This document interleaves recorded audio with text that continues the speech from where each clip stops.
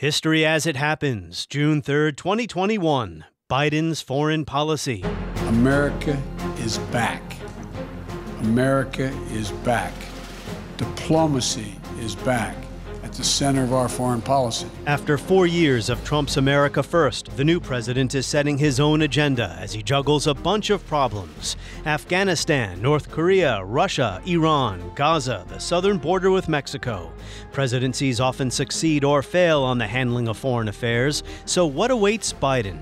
That's next as we report history as it happens, a podcast from the Washington Times. I'm Martin Di Caro. One of the primary objectives of the foreign policy of the United States is the creation of conditions in which we and other nations will be able to work out a way of life free from coercion. There can be no stable and enduring peace without the participation of the People's Republic of China and its 750 million people. The maxim is dovii no provii, trust but verify.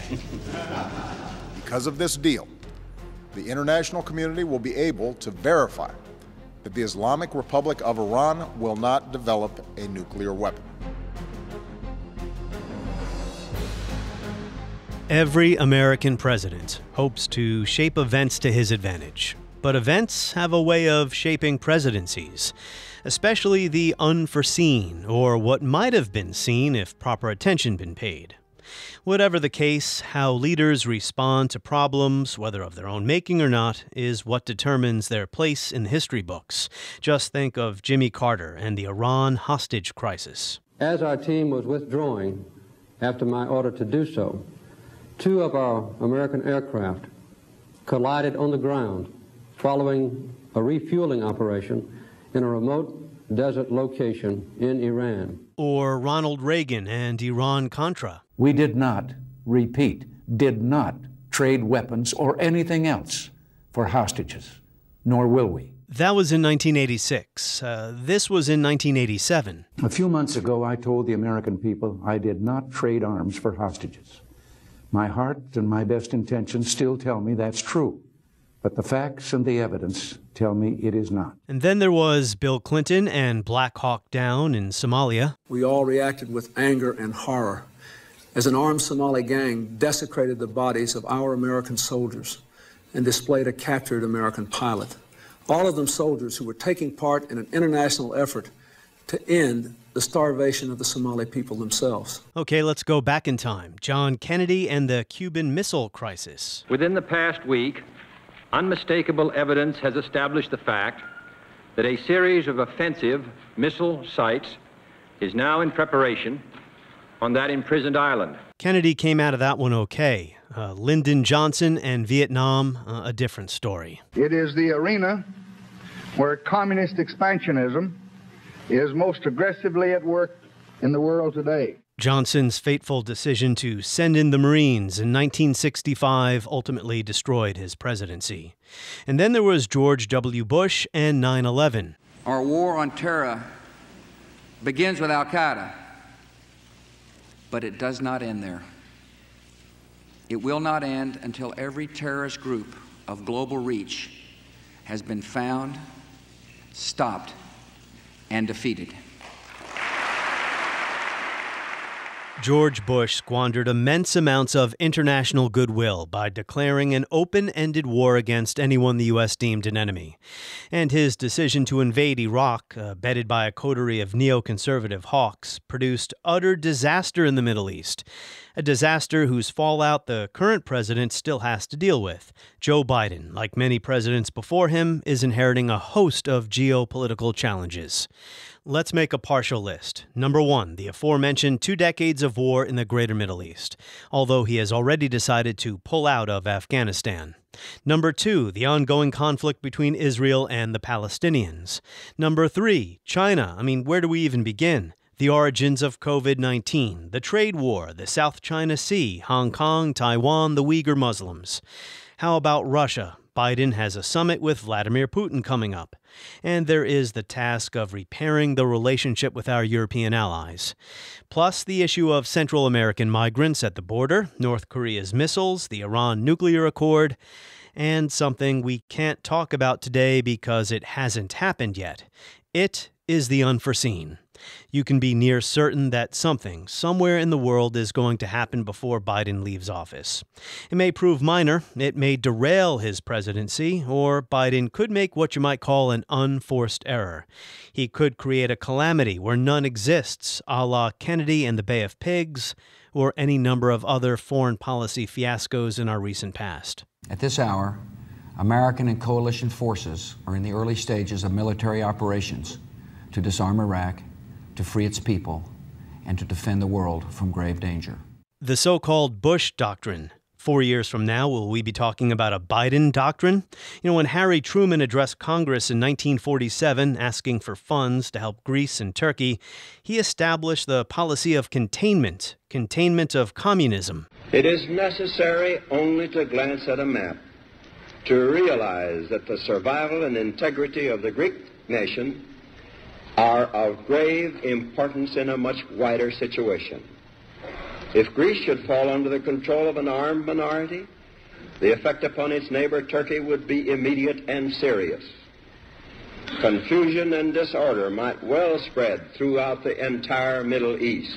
This developed into the Truman Doctrine, based in part on the so called domino theory. President Eisenhower was actually the first one to refer to the dominoes. It is cunning. It is godless. It aims to destroy all freedom. If we withdrew from Vietnam, the communists would control Vietnam. Pretty soon, Thailand, Cambodia, Laos, Malaya would go. If this little nation goes down the drain and can't maintain her independence, ask yourself what's going to happen to all the other little nations. Historians disagree over just how important the domino theory was when it came to getting involved in Vietnam. But back to the Truman Doctrine. It was the foreign policy of the United States throughout the Cold War. But it was a bipolar world then.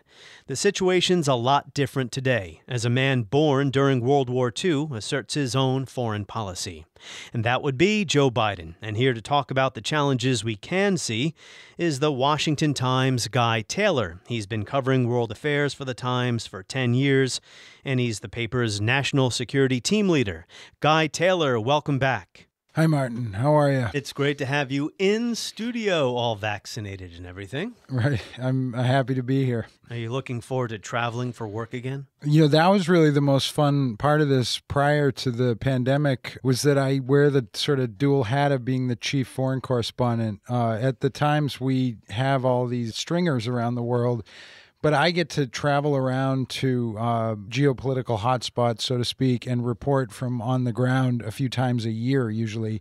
And yeah, I'm definitely looking forward to uh, hopefully doing some of that in the next year or so.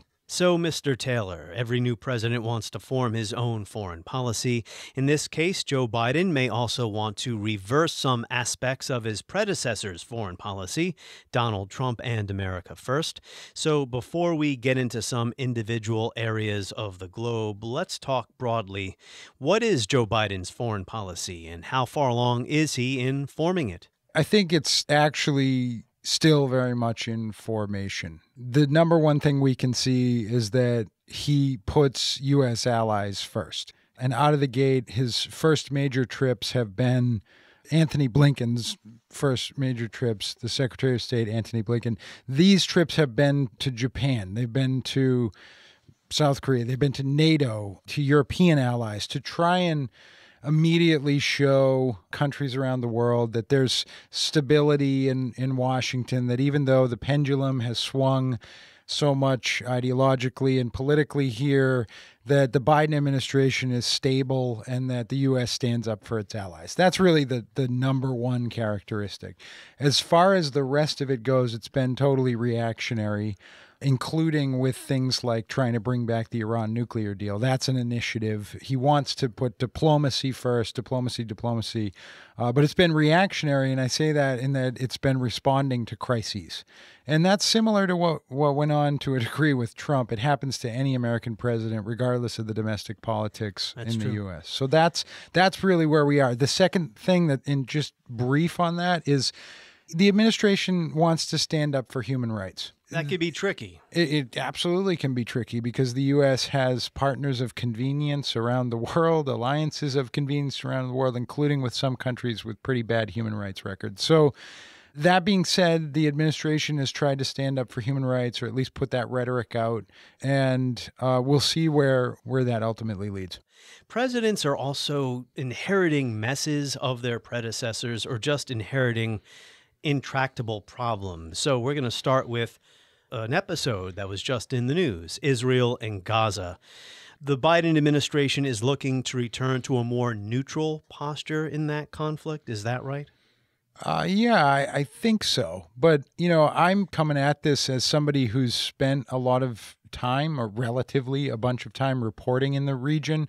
I actually haven't been to Gaza, but I've, I've been all around Israel and I've been all around the West Bank and I've met with Palestinian Authority leaders, I've met with Americans, I've met with Israeli officials. What Biden is doing, what Antony Blinken did on his quick trip to the region. First of all, this was not a front burner issue for the administration the tinderbox or powder keg that blew up could have blown up when Trump was in office. It could have totally disrupted the Abraham Accords. It didn't.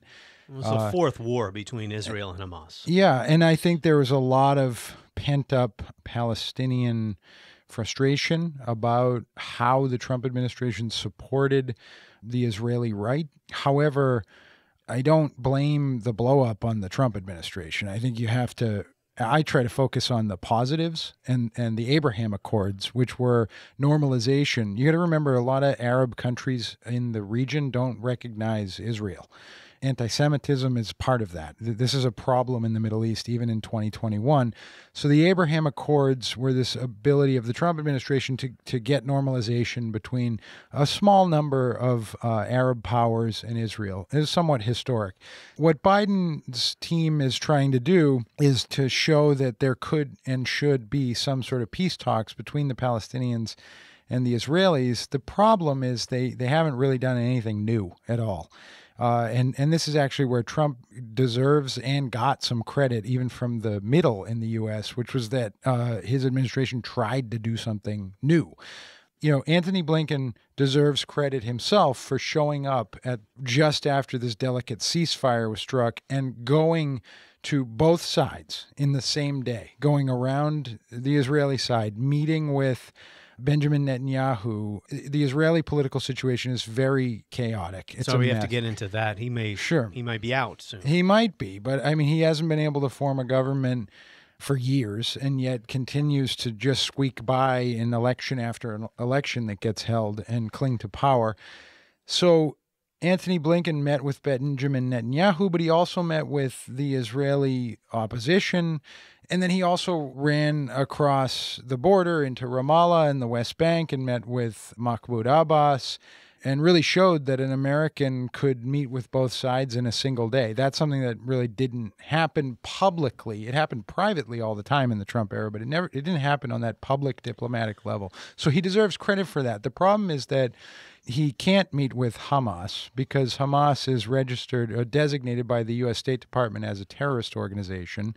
It's also recognized by the State Department's most recent country reports on terrorism 2019 that Iran supplies uh, weapons to and support for Hamas, and that Iran continues to be listed as a state sponsor of terrorism. So he has no relationship with Hamas publicly. And Hamas controls Gaza, and the rockets that were fired to Israel were from Gaza.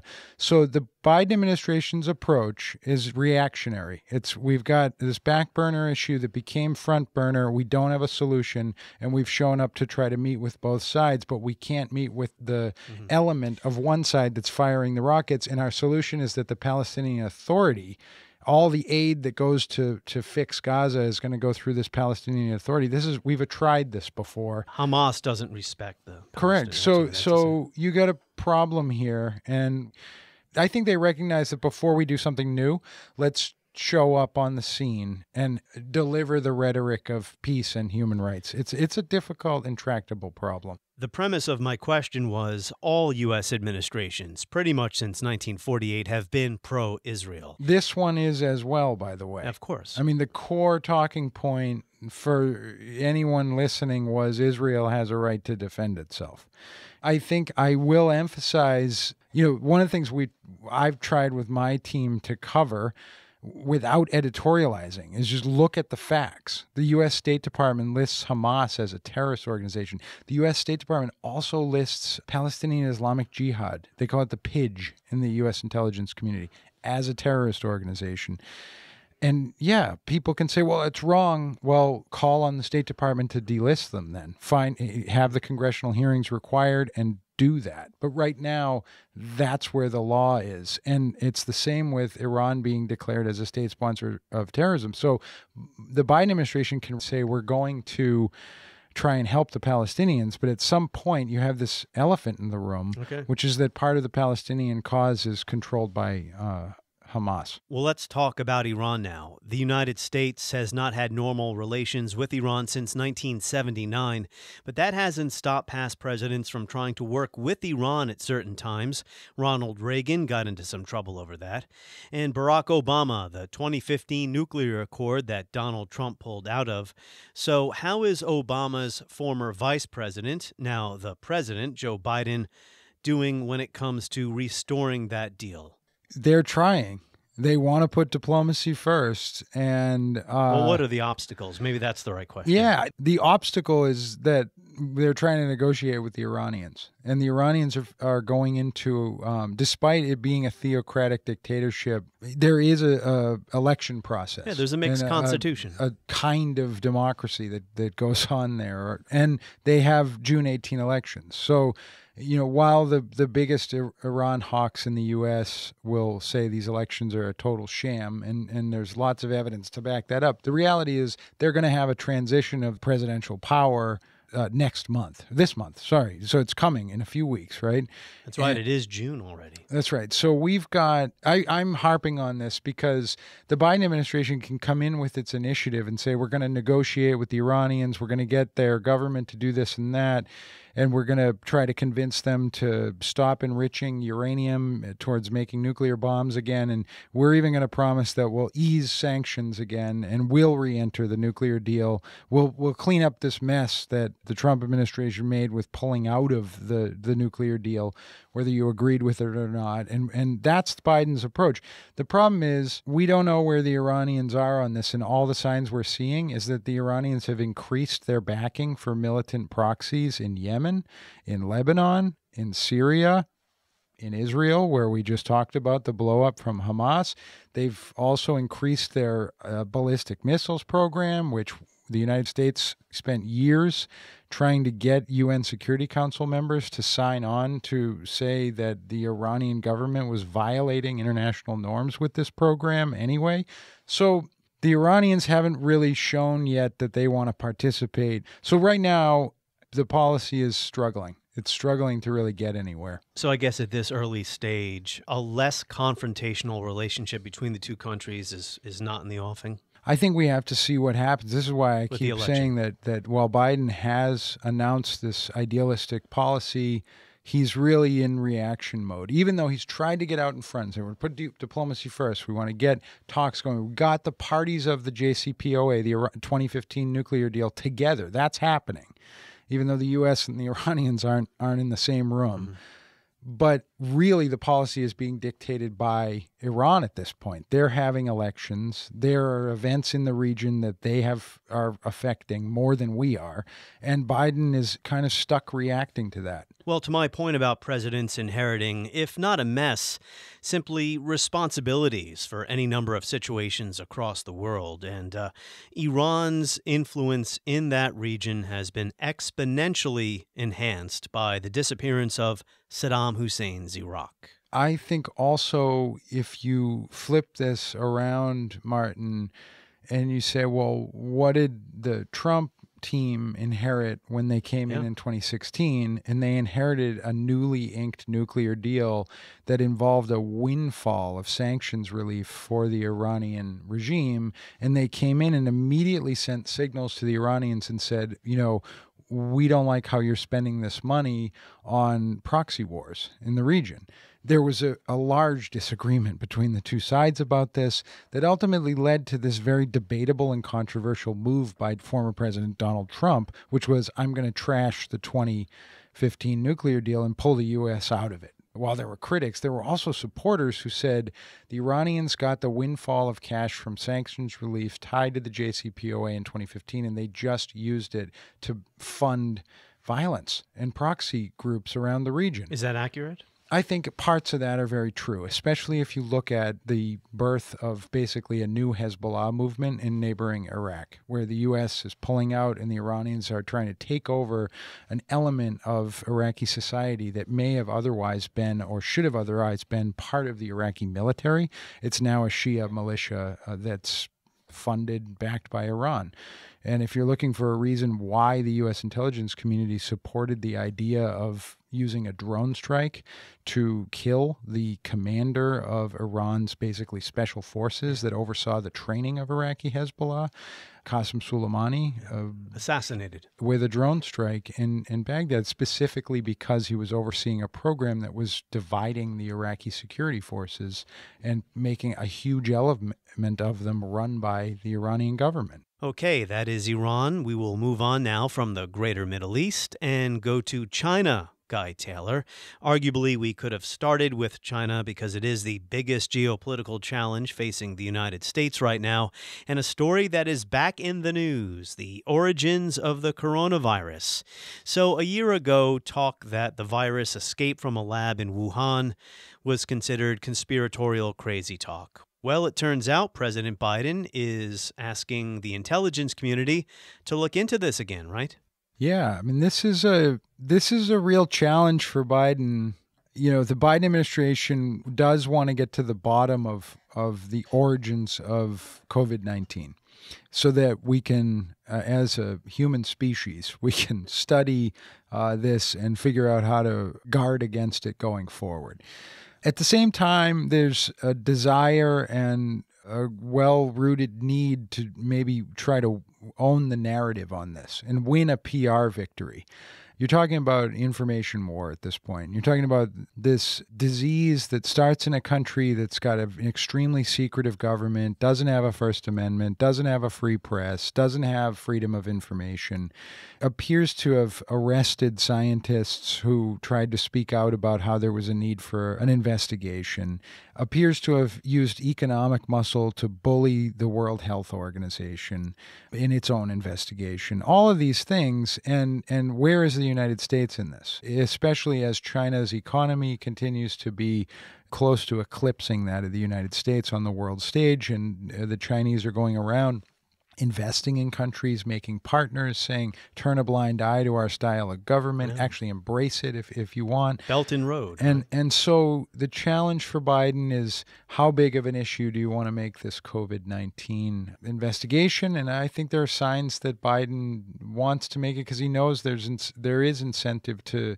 to show the world that the United States wants to get to the truth. Well, think about the international implications, right? If in fact this came out of a lab we're talking about the deaths of 3 million people, mm-hmm. millions more sickened, and essentially the world turned upside down for a year and a half. I don't know that I I want to fan the flames of let's let's blame somebody for we don't know yet this virus. Even if we do find out, I, I think the issue is can this be used to show another very influential world power of the need for there to be some element of transparency when it comes to things like scientific research. Yes. And that's really what it comes down to. When, when we then go into the politics side, if we start at geopolitics, what the Biden administration is facing is the same issue that the Trump administration was facing, which is whether or not the United States media wants to embrace this or not. Remember, the United States media, including Hollywood and all of the newspapers and all of the television networks, are all making, the companies that own them are all making some money in China, quite a bit. So there's a, an aversion to criticizing how things are done in China at the moment. At the same time, the Chinese economy is big. The, the European Union, for instance, China has eclipsed the U.S. as the biggest trading partner for the European Union. It's barely reported. It's reported in the British press. It's out there. It's known. And to push the Chinese around isn't going to happen, which is why Biden has, has gotten behind this idea of the Quad. Let's align militarily with the biggest democracies in the world, in that part of the world Japan, Australia, India. Let's see if we can get some coordination among them to make sure that global trade can continue the way that it, it does, that there isn't an attempt by one massive power in Asia to s- sort of rewrite the rules about how goods move around the world, things like this. So that's what you meant by Biden being hesitant to push China around instead of being confrontational, try to work collaboratively with the other nations. Yeah, I also think that the American foreign policy transcends administrations. We have a pluralistic multi party system here. I know there's a lot of biting politics uh, all the way down to the street level in this country, but at the end of the day, the China policy transcends. It's it's going to be here when Biden's gone. It was here before he got here. Donald Trump went about it a different way. It was very much more confrontational. It was not warmongering. It was it was just um, sending a very clear message to this other organization of people on the planet who have a really different way of doing government that the United States has some principles and some of these principles involve don't steal intellectual property. Don't violate human rights at a level where you're setting up concentration camps for people who are are Muslim. Well, this know? was an area where Democrats and Republicans agreed. The calling out of China, the cheating on trade, international property, or intellectual property. So, one premise of this podcast is how events, possibly unforeseen, maybe not, shape presidencies. And often presidencies succeed or fail based on how our leaders deal with something. Taiwan, an issue that could potentially pull the United States into a military confrontation with China, even though Taiwan is not a formal ally of ours. I don't think a lot of Americans believe saving Taiwan's autonomy is worth a war. But uh, American foreign policy sometimes is based on credibility, right? Standing up Right. for an ally to show our other allies that we're in their corner. Absolutely. And, you know, I, I've been to Taiwan twice. Take Uh, me with you next time. It looks like a Yeah, I mean, it, it- it's it's an amazing place. It's one of the uh, original drivers of this current moment of economic dynamism across East Asia. I don't want to reduce Taiwan to a geopolitical chess piece, but there's a lot of history here. I mean, you you could go back to the Chinese Revolution and Mao Zedong and and Chiang Kai-shek, and you can look at you know the Taiwan Straits crises of the uh, 1950s, and realize that just uh, maybe a decade after the United States had dropped two nuclear bombs in the region, the only two, right, uh, Hiroshima and Nagasaki, and sent a really clear message to every government in Asia. So after the Communist Revolution in China. Mao Zedong's revolutionaries wanted to uh, take the anti communists in Taiwan from the start. So you had the Taiwan Straits crises, right? The United States at that time stood up for Taiwan. This is the early 1950s. This is important because it was from that conflict, and there's consensus on this, that Mao Zedong realized. I mean, the United States made it clear we could use nuclear weapons. Stop, you know, back off. We mm-hmm. support this group in Taiwan. That's right. And Mao Zedong then became determined to develop China's nuclear program. In this way, Taiwan became this geopolitical chess piece at that time. China turned to the Soviet Union for help building its nuclear program. My point in all of this is that these geopolitics are still there. China is using this the, the Taiwan issue to bait the United States to you know where where are the limits? Are you going to to come a little bit closer? You know, are are you really going to stand up? Can we do? Are you going to send aircraft carrier through? Are you going to? How close are we to a, a clash here? Look at how much stronger the Chinese military is now than it was in the 1950s in the Taiwan Straits crisis. That's why Taiwan is there. And Biden is being briefed on this stuff. He knows about it, and we're writing about it uh, in the Washington Times. I'm covering it. I can't emphasize enough Biden's approach so far out of the gate in the first 100 days was to hold the first ever head of state meeting of the Quad Japan, Australia, India, United States. These are all Pacific powers. They're all stable democracies. They all have advanced militaries, even though there's the caveat of Japan having constitutional issues with its military because it's a pacifist nation. I think a good question for Biden is would Taiwan be part of the Quad Plus that gets talked about? Would South Korea be part of the Quad Plus? So Taiwan is there. I, I don't anticipate that China is about to take it. And I think you'll find a, if you were to get a, a bunch of Navy commanders on, U.S. Navy commanders on here, in our experience reporting on it, they're harder line about this than the people on on Biden's NSC. They want the U.S. to flex its muscles more in this this theater. When I had you on the podcast uh, mm-hmm. uh, several weeks ago to talk about China, the other guest on that episode was Carla Freeman mm. of the uh, Johns Hopkins School mm-hmm. of Advanced International Studies, and she said that there is growing concern that China may move on Taiwan sooner rather than later there's some consensus on that. That consensus has made its way in and out of the Pentagon.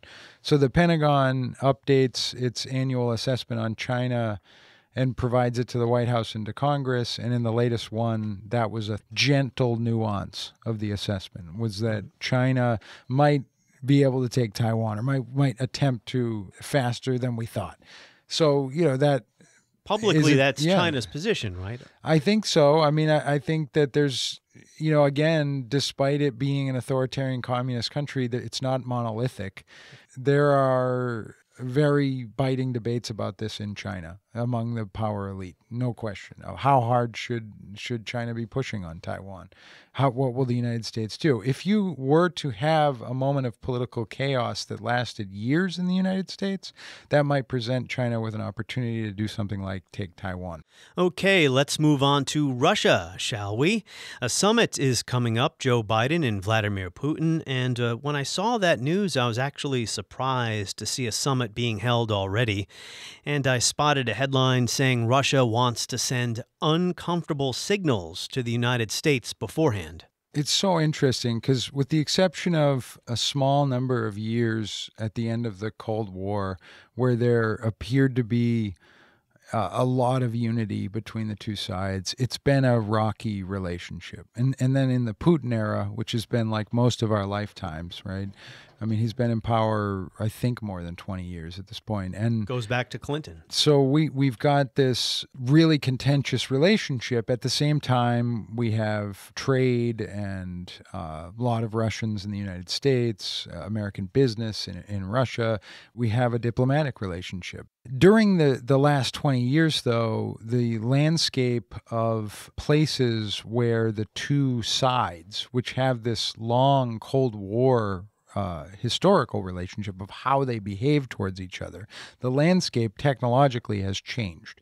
You know, for instance, at the end of the Cold War, we didn't have a cyber realm we now have the cyber realm and elements of Russian intelligence backing uh, bigger and bigger hacking operations against the United States for clients around the world and for their own meddling purposes to show the world and the United States that Russia is still a viable geopolitical power. And mm. and so this is something that Biden's got to deal with. And I think the task for Biden is to try and make it clear to Putin that uh, Russian threats and provocations, like hacking, are not going to result in anything other than more sanctions from Washington. And and I think for Putin going into this, his challenge is to show Biden that he really has proof that the U.S. meddles in in uh, the affairs of former Soviet republics like Belarus. He's got this proof, and he really wants the U.S. to stop. And he's he needs to convey somehow to Biden, you know, not to try and foment a revolution against him in Russia. That's what's going to go on behind the scenes, that conversation. But there's another, again, to use this term, elephant in the room, which is China and and it's been in, in the interest. Uh, we've written this a couple of times. It's in the interest of U.S. intelligence, or so so our sources tell us that to try and drive a wedge between Moscow and Beijing, and I, I think that's something that will also be going on behind the scenes. Is this kind of attempt by uh, Biden to say to Putin, "Look, I've been around a while. We don't we, we don't need to be at war." Uh, we need to recognize that there's this other power that has immense economic influence now. Why don't we work together a little bit? Yeah, Joe Biden is arguably the most experienced foreign policy president upon taking office. I mean, mm-hmm. I believe he was the chair of the Senate Foreign Relations Committee, mm-hmm. vice president who worked on foreign policy under Obama. Mm-hmm. Donald Trump's affinity for Vladimir Putin was peculiar to say the least. What is Joe Biden's relationship with Putin?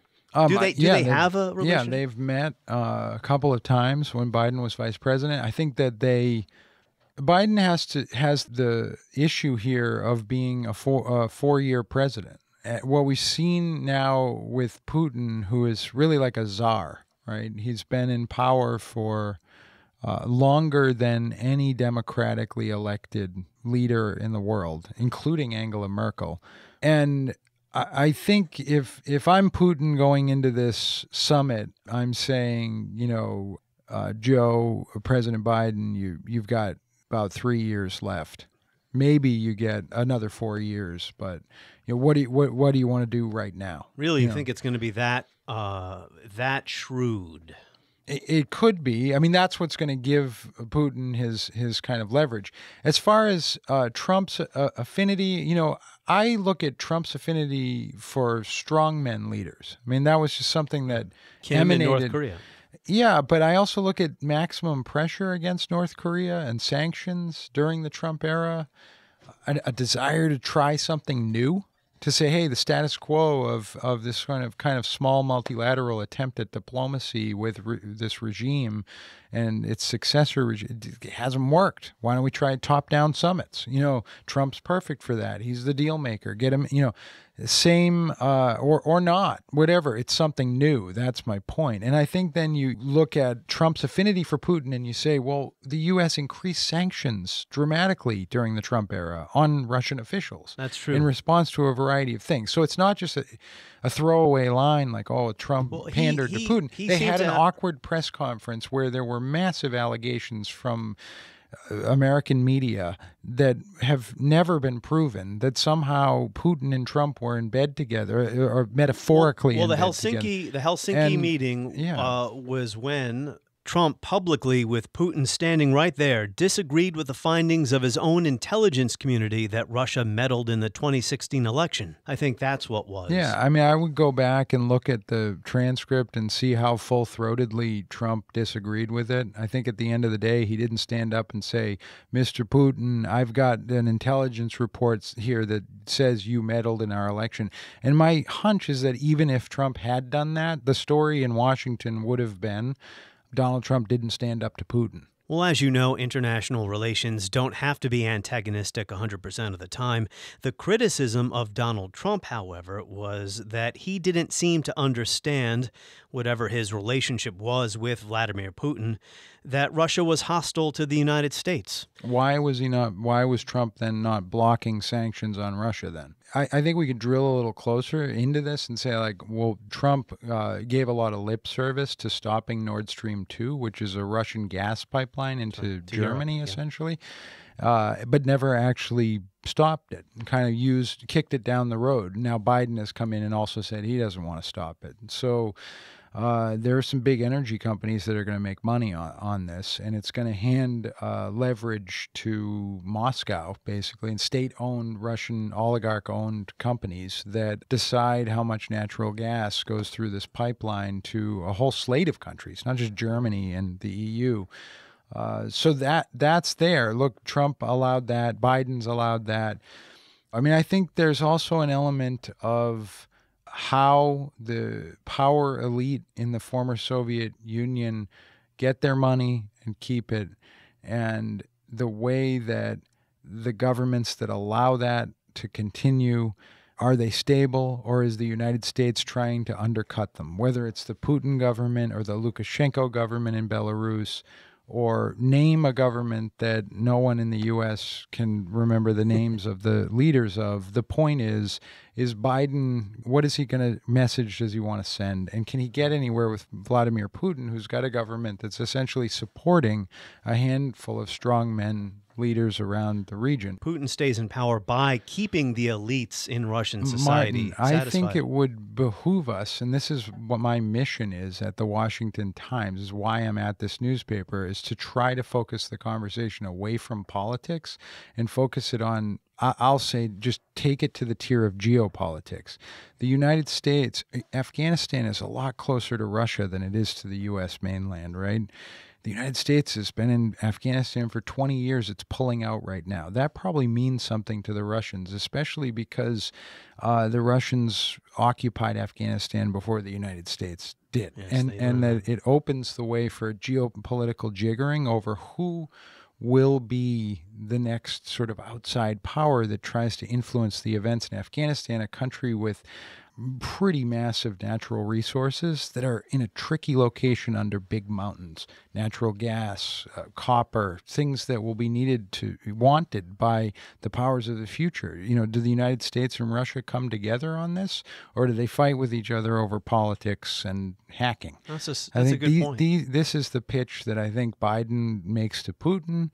There are other geopolitical factors uh, in the region as well, such as shipping and the movement of uh, oil to the region from the Middle East through the sea lines of communication and China's desire to control these things, right? So you could make the argument that uh, if Russia were not hell bent on supplying natural gas to Europe, or even if it were, perhaps Russia could uh, help supply more natural gas and other fuels to uh, East Asia.